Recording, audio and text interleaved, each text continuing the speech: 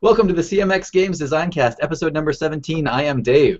I'm Scott. We've had an exciting weekend. It started with an article showing up in the Daily Mining Gazette up in Houghton, Michigan, our hometown, featuring Scott and myself and Copper Country, this game right back here.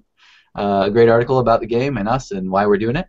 That was exciting. And uh, then I was in Minneapolis. I had these plans for since October to visit my parents, my wife's grand, my wife's parents, um, go to a hockey game, uh, and meet with our artist Christopher Park. I got to play the game with him. He was super excited to see the actual physical product of all of his uh, months of hard work that went into the game. So that was really cool. And then Scott was at Protospiel in Milwaukee. So what happened? So yeah, so I got to play a bunch of cool games, uh, meet a bunch of cool people. Um, so just to let's run really quickly down uh, maybe like the top three games in my mind that I played. Uh, Neil Roberts, I got to play his game Prohibition uh, based on like rum running. Uh, it's an economic type worker placement game.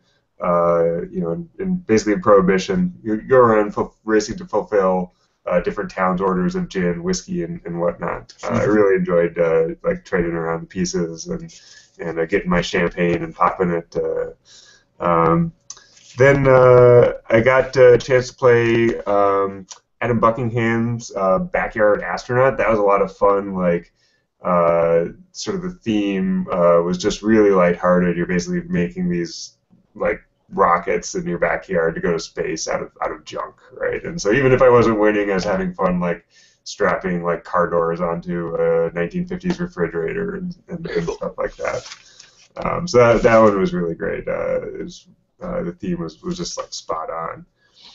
Uh, I got to play uh, Ed Marriott's prototype of Brooklyn Bridge, uh, while we were in the uh, hotel bar watching the Badgers beat uh, Oregon in the NCAA basketball tournament. The Badgers beat Ohio State uh, in the Big Ten hockey tournament. Yeah, go Madison team. Go local home team. Sports. Yeah. Um, I was really jealous when I saw the pictures you were tweeting. I didn't realize you were playing in a bar at the time. Yeah, yeah. It's just just go down the hallway and, and, then, and you're there.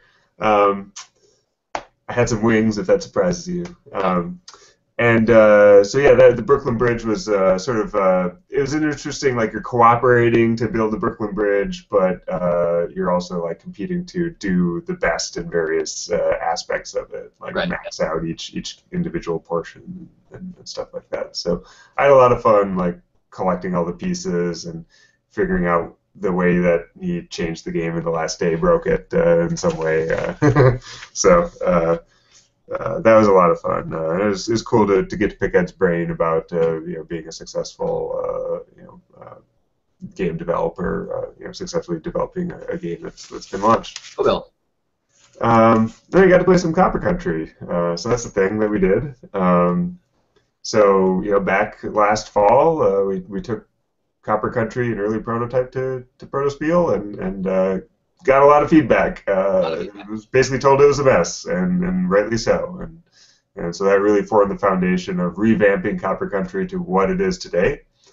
Uh, brought it back to Protospiel, um, and generally people really enjoyed it. Um, like, um, yeah, I really enjoyed seeing my phone blow up on the Twitter just because people were talking about the game, and it really seemed like they were having a lot of fun and really enjoyed the art uh, which was really fun because I was sitting there with our artist while this was happening on Twitter, and I could read things off of Twitter to him, like uh, the art is great, that kind of stuff. Uh, you know, I was sitting there playing the game with him. So it definitely helped yeah, having Ed take a picture, and he's got a big following. So it definitely helped having him take tweet that, and then yeah, Dave got to live vicariously through all the uh, all the people saying like, "Wow, this looks really good for a prototype."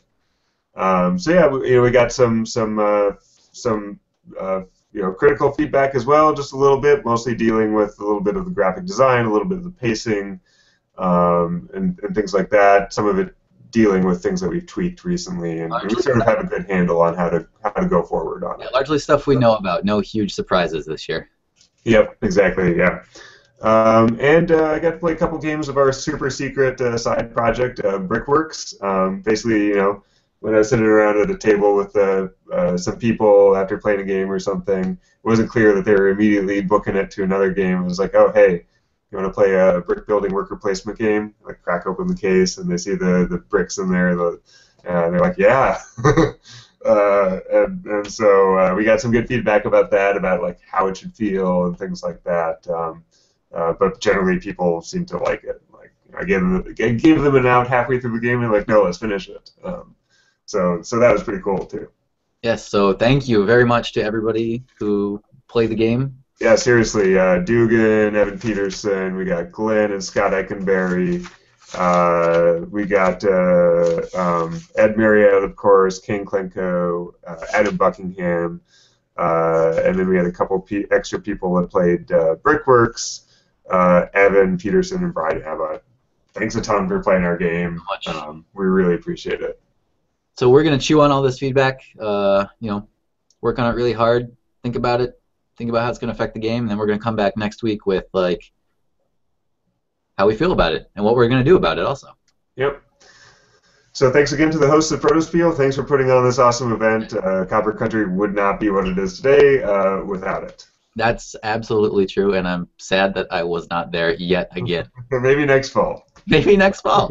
Who knows? All right, so that's 17. We'll be back in 18 with uh, the nitty gritty of all the feedback we got at Protospiel the second time around.